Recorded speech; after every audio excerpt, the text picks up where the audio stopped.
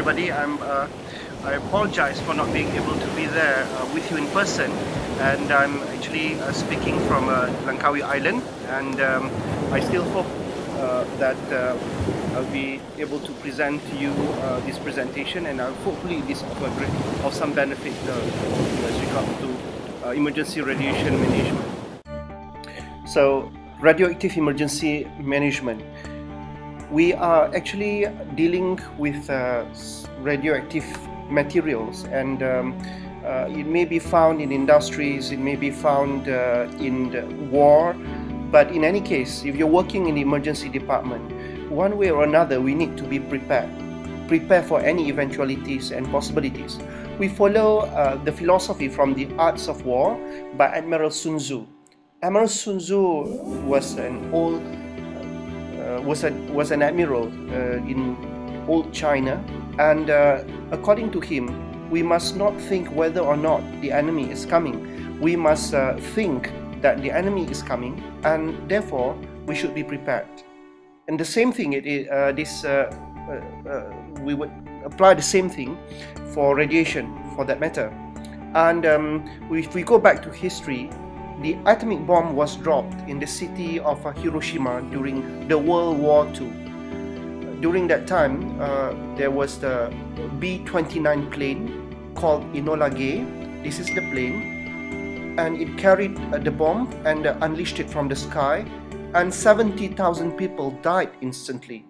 And following that, another about 150,000 people died from the effects of the radiation, from the burn, from the trauma and uh, from other injuries associated with uh, this nu powerful nuclear bomb. You can see this is the city before the bombing and the city after the bombing is is just like this. Everything was cleared away in an instant. You can actually gauge how powerful this bomb uh, was. Three days later, um, another bomb was scheduled to be dropped from the city of Nagasaki and before that thousands of leaflets were dropped from the skies for the people of Nagasaki to take shelter. And uh, it was a warning that if the Japanese did not stop the world war uh, they would actually be uh, suffering from another nuclear bomb attack. And uh, true to their words uh, another plane called uh, Bockscar dropped another bomb, and this time the, the bomb was called the Fat Man. Uh, and uh, this uh, massive uh, nuclear bomb literally destroyed the city. So, if you were to look at the city, how it was like before the bombing and after, it looks like this. So, it's a terrible bomb, and we um, actually uh, we saw in history how much the people suffered.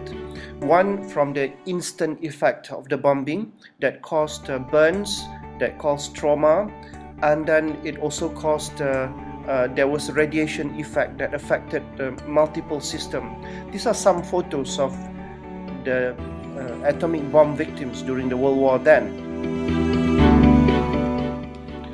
there is this uh, thing called combined radiation injury and um, the combined radiation injury refers to the thermal uh, injury uh, in which the massive heat caused burns, mechanical combined radiation injury in which there was external and internal irradiation with a wound or fracture or hemorrhage, and chemical, whereby there was a chemical burn or chemical uh, intoxication. All this in combination caused such an horrendous effect for the people who suffered uh, from this uh, nuclear bomb attack in Japan during that time.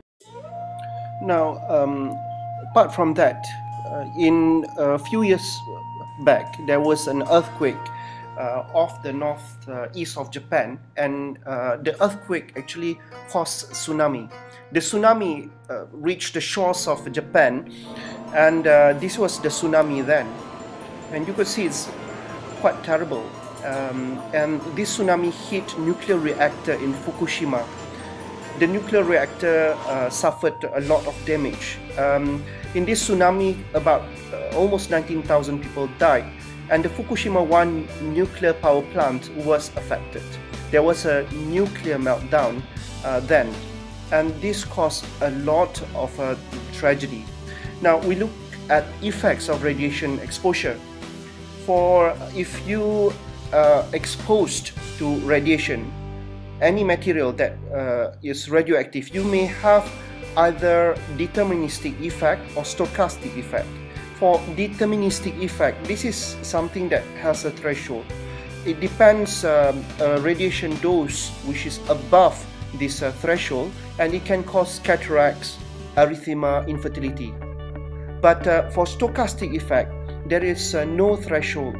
It can cause cancer or genetic uh, modification. So uh, whatever effect that one may get may be in this form in terms of a biological effect from radiation. These are long-term effects.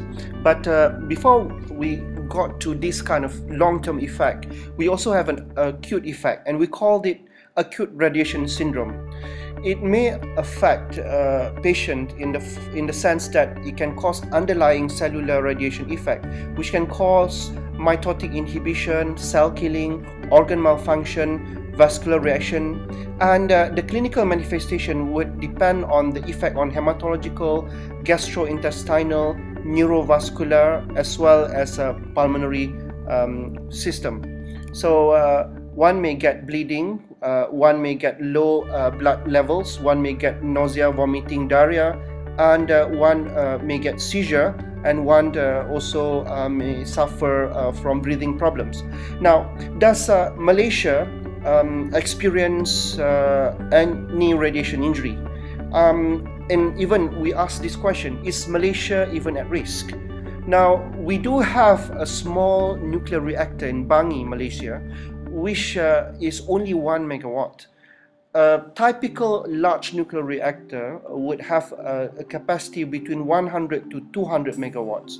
Nevertheless, we have nuclear powered ships plying Straits of Malacca, and these powered ships easily has a capacity of about 100 megawatt, which is uh, equivalent to a large nuclear reactor.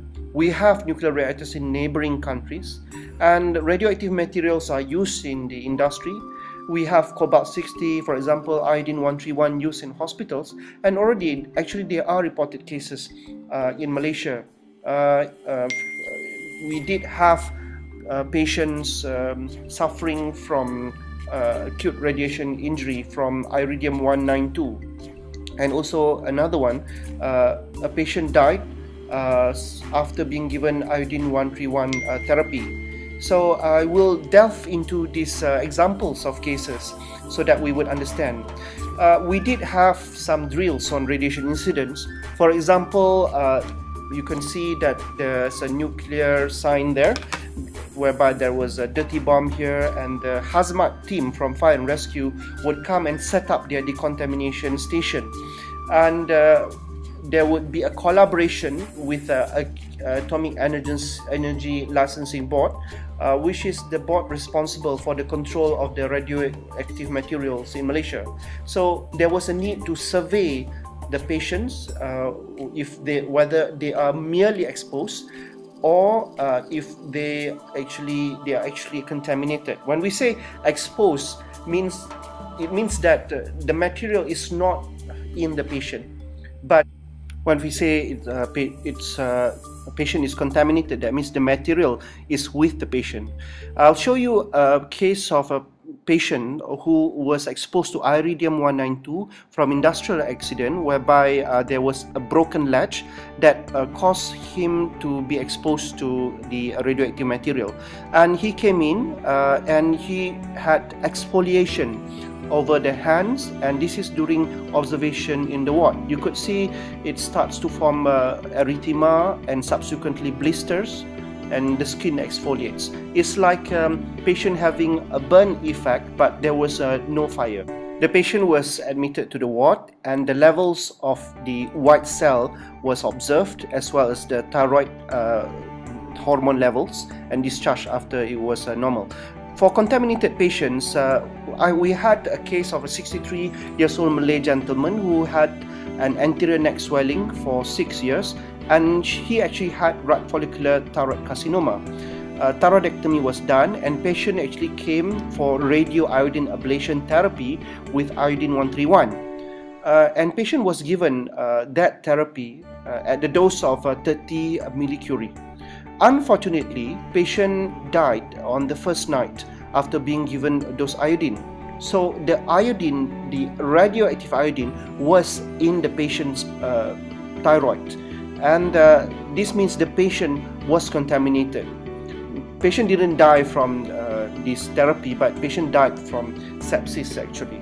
In normal practice such patient would be uh, admitted to iodine ward for three days after which the half uh, life of the iodine would have come down uh, and patient be discharged.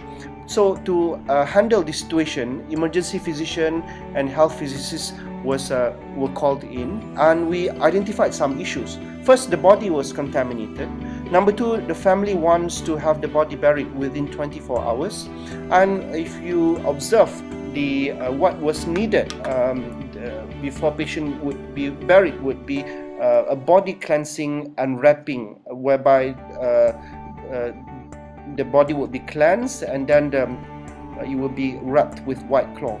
And the family insists on bringing back the body to their house in Baling, Kedah, which was about 400 kilometers away. Now, this would pose a lot of radi radiation uh, doses uh, to people who handle this body along the way. If you look at the process of burial for Muslims, uh, first they did the body cleansing and the uh, wrapping the white cloth, uh, and then patient will be transported on the hearse, and then patient will be brought uh, to the mosque, and there will be prayers, and then patient will be taken to the graveyard, and there will be people who are actually bringing in the patient to the graveyard, lowering the body into the graveyard. And you could imagine all these people uh, could be exposed to uh, radiation doses, and they too would get effects of uh, radiation. So now we sat down and we tried to think what would be the best. Should we leave the body for three days and come and get the body back? Or was there uh, any um, alternative so that we could pacify uh, the family member? Now, uh, we sat down, that was uh, that night, uh, the health physicist and me, and we started to, uh, thought, to think what would be a, a good solution to such a case. Um, we uh, thought and uh, we used the principles of distance, time, and shield, the DTS uh, principle for safety radiation. Now, we could actually safely handle a patient who uh, was uh, who, who is contaminated if we know the safe distance and stay away from that distance or we limit the time of our the radiation exposure so that it doesn't exceed the allowed um, radiation dose uh, per year or we use shields such as a plumbum but uh, a shield actually we're talking about needing a plumbum shield of about uh, 12 centimeter block to actually reduce as much as 50% uh, from such rays. Uh, we're talking about gamma rays usually, whereby it has a high penetration uh, capability. Now, um, when we uh, talk about it, we thought the best is that because we had to be close to the patient, uh, we would actually measure and find out what's the safe distance uh, and what's the safe time allowed for us to be with the patient and forget about the shield because uh, uh, it will slow us down and um, what is more important is that we could safely handle the patient with the less uh, allowed radiation dose for the year. Now um, we know that um, actually every one of us uh, can take radiation safely that's why uh, we can uh, go through CT scans, we can go through X-rays. So uh, what we recommend is that we follow uh, the MOSTI recommendation, whereby actually we can take uh, uh, radiation as much as 50 millisievert per year, but for radiation workers, we limit it to less than 20 millisievert per year. But for the public, we limit it to less than 1 millisievert per year. Now, based on this calculation, we could strategize. For example, in this case, we want the people to uh, do all this body cleansing and also the wrapping of the uh, body. We could actually limit uh, based on uh, what's the radiation uh, rate that we measure through the survey meter and uh, we lay out the strategy.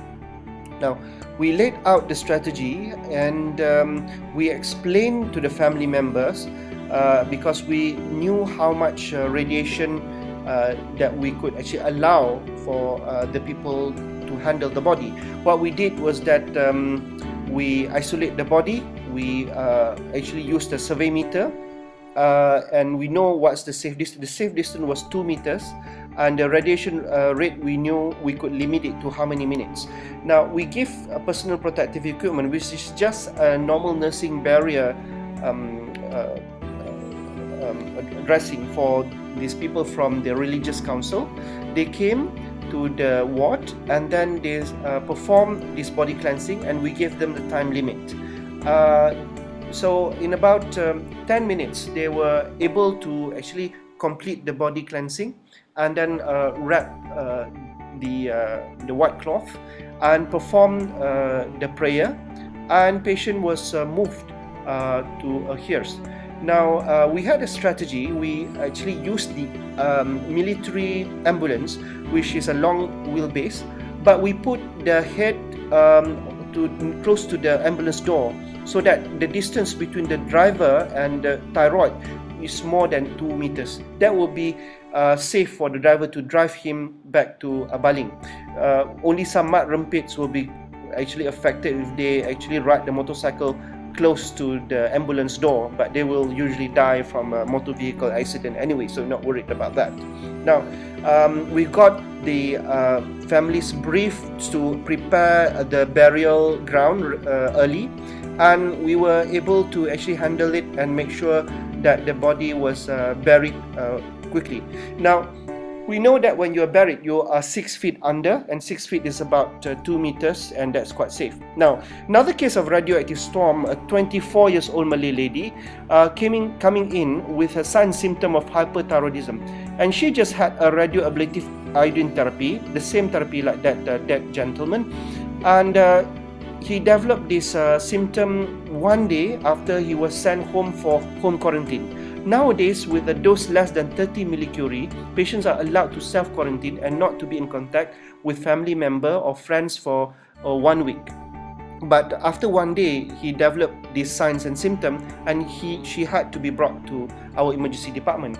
Of course, our emergency staff would be at risk of um, uh, being uh, exposed to radiation because she is radioactive.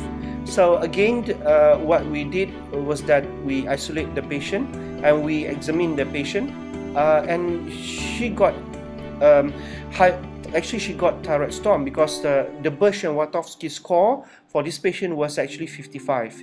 If it is anything more than 45, it is high likely that patient will be having thyroid storm. So we start the treatment for thyroid storm uh, in this patient, but we also observe safety so that our staff would not be affected from the radiation that this uh, patient has uh, following the radio iodine ablation uh, therapy.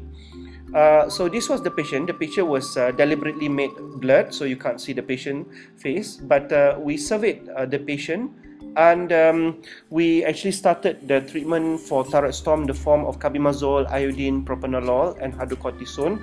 And we call in medical physicists and nuclear physicists, and we uh, examined the radiation rate was 0.02 millisievert per hour, and safe distance was at 2 meters and with calculation of a, a limit limit of 1 millisievert per year uh, we calculated that there can one can have a close contact with this patient for as long as 50 hours. Subsequently patient was admitted to isolation ward and um, each nurse uh, would be given a limit contact time of 50 hours. And we advise um, those who are pregnant not to actually handle this patient so uh, we, uh, with the health physicists at the hospital, the you will have one uh, health physicist minimum if your hospital has radioactive material. So if you have this situation, you could just contact them. They can help you to survey uh, how the safe distance and what's the uh, dose rate for you not to have exceeding the radiation dose uh, allowed. So this patient was stable throughout the stay, recovered from the thyroid storm and she was actually discharged six days later.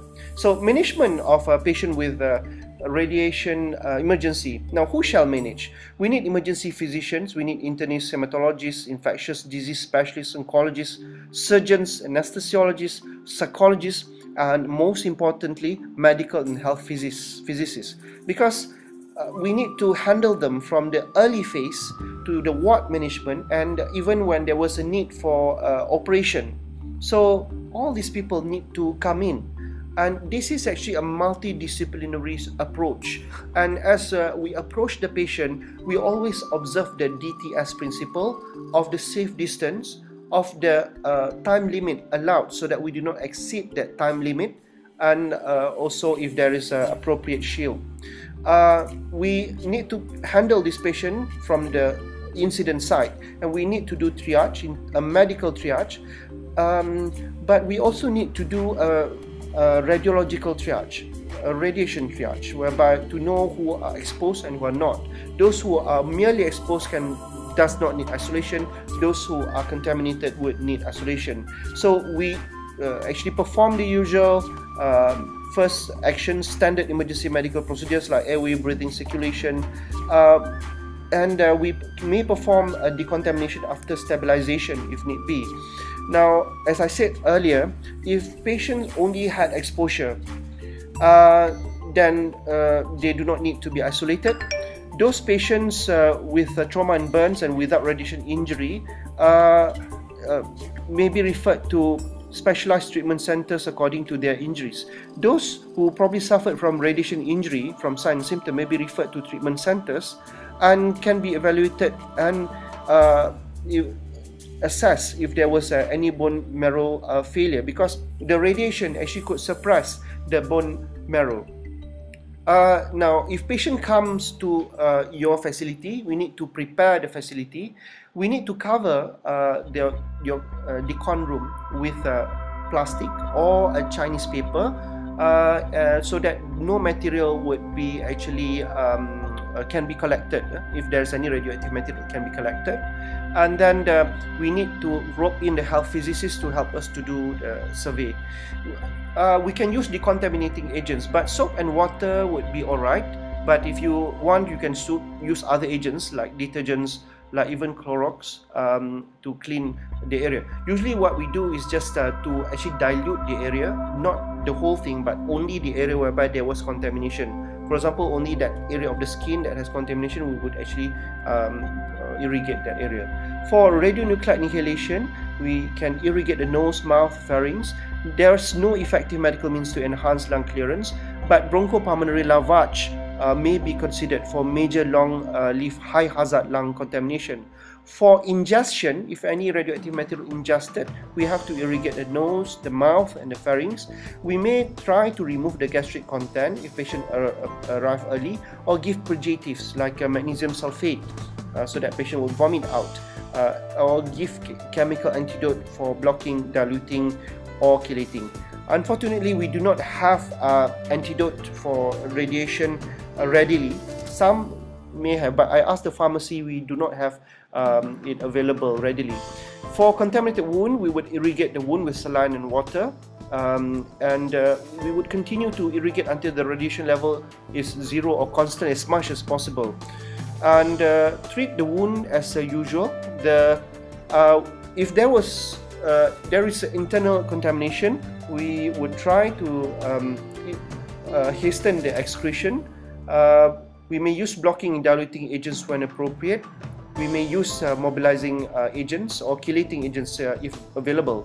Now, patient may suffer pancytopenia from the bone marrow suppression, so we need to isolate the patient uh, and um, to avoid patient from uh, sustaining secondary bacterial um, infection, for example, for which patient may need uh, antibiotics. So, from here you can see that there were a lot of considerations um, that you have to think for the patient. And the approach of management is actually um, uh, very much involving uh, people from other uh, disciplines and specialties. So the steps in clinical care of local radiation injury, um, you need uh, to take the history and physical examination, take a serial blood count, uh, do a chromosome analysis for which we can send blood uh, to uh, MR, uh, IMR or ALB for uh, DNA study. We need to reenact the accident, do frequent color photograph, baseline extremity x-ray, ophthalmologic slit lamp examination, sperm count and even surgical consults. So all this may be required um, as we actually manage the patient because from the very beginning we this patient may we could record how much the patient uh, suffers in terms of bone marrow uh, suppression and up to the mm, uh, other effects such as um, uh, cataracts and infertility uh, and, and, and such things. Now, we also need to care about psychological support. They would be worried. we actually treat them symptomatically most of the time and we try to prevent infection and hemorrhage. we may give antibiotics, we may give blood products uh, for this. We need to maintain hydration and nutrition, give fluids, supportive management. In some cases, we have to encourage cell renewal by giving growth factors and even stem cells. And we need also to control inflammatory response. Uh, we need to give uh, supportive treatment in the form of analgesics, antipruritics, anti-inflammatories, antibiotics, even skin growth factors if needed, synthetic occlusive dressings, and even in some cases surgical intervention by uh, doing debridement, excision, grafting, and even amputation. Handle the patient's psychological uh, uh, state we need someone who's knowledgeable about uh, radiation but able to counsel the patient as to the uh, action of plan. Uh, and that is really really uh, uh, useful. Now we try to do this uh, training by using toys and it seems that we can actually improve by making our doctors play. And we found that there was a good increase of knowledge so there are multiple ways for us to improve understanding and um, of radiation uh, management. But in summary, uh, we need uh, an understanding and to actually be prepared for uh, radiation safety. Uh, we need uh, to learn from experiences, especially those with real cases and and the drills are the best teachers and even the, the games and simulations. We need to have a common system for preparation. So with that, thank you.